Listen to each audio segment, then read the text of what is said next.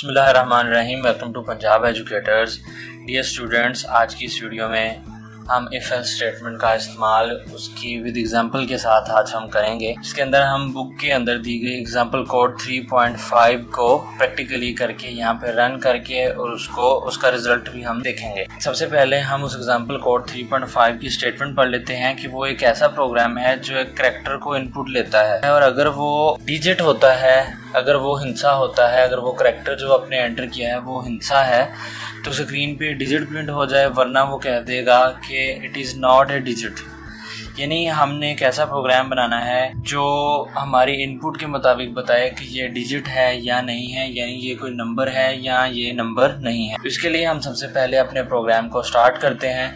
जल्दी से मैं इसको सेटअप कर लेता हूँ।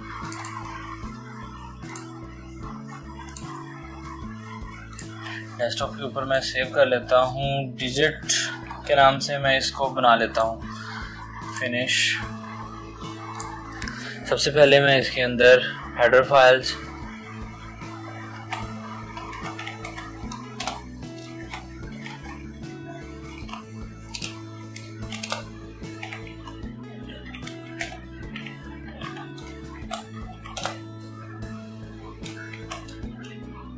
तो हमने क्योंकि करेक्टर को इनपुट कराना है तो इसके लिए हमें यहाँ पे करेक्टर टाइप का एक वेरिएबल लेना पड़ेगा। हम फ़र्ज़ कर लें, यहाँ पे सी भी ले सकते हैं।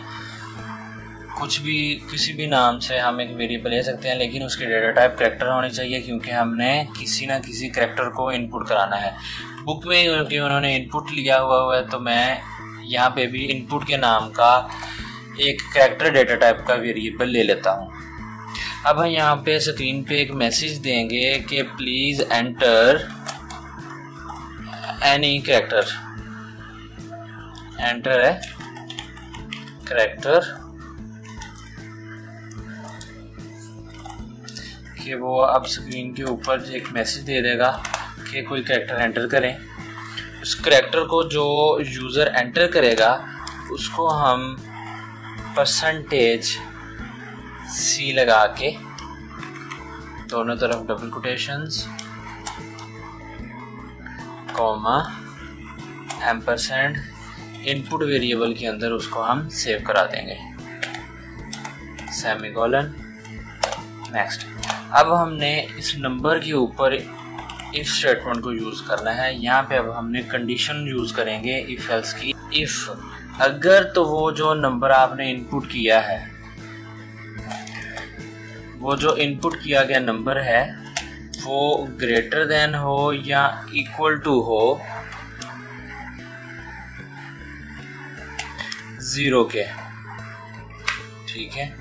यानी वो नंबर ज़ीरो आप एंटर करें या ज़ीरो से बड़ा कोई भी नंबर एंटर करेंगे तो वो क्या कहेगा कि ये आपने डिजिट एंटर किया है।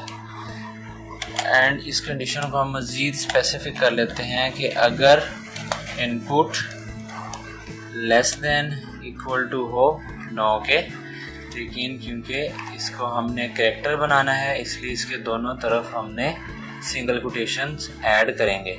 ये हम पहले पढ़ चुके हैं। इस कंडीशन के बाद नीचे आ जाएँगे।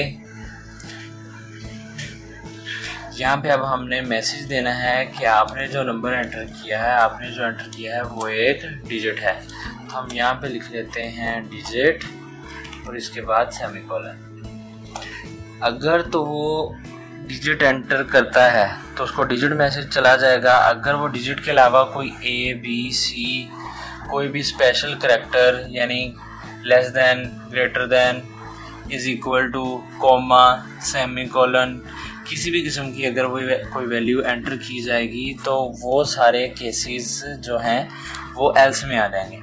एल्स के केस में हम कहेंगे कि प्रिंट एफ़ कर दो, ये ए नॉट डिजिट है।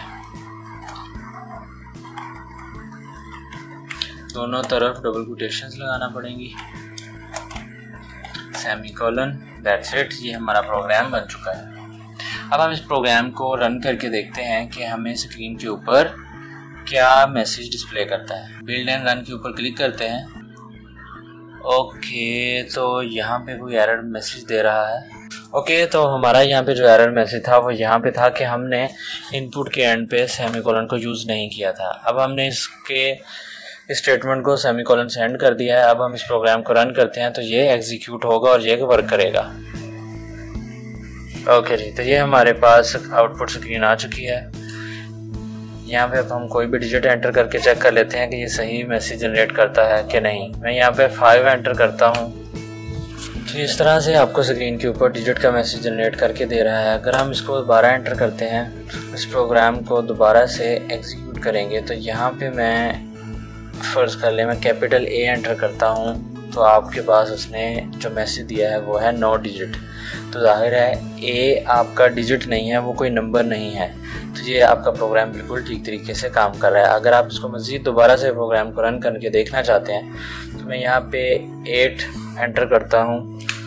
तो आप, उसने आपको मैसेज दिया है इट्स अ डिजिट तो इस तरह से हमें अंदाज़ा हो गया कि ये हमारा प्रोग्राम बिल्कुल ठीक तरीके से काम कर रहा है। मिलते हैं नेक्स्ट लेक्चर में नेक्स्ट प्रोग्राम के साथ। तब तक अपना ख्याल रखिएगा। अल्लाह हाफिज़।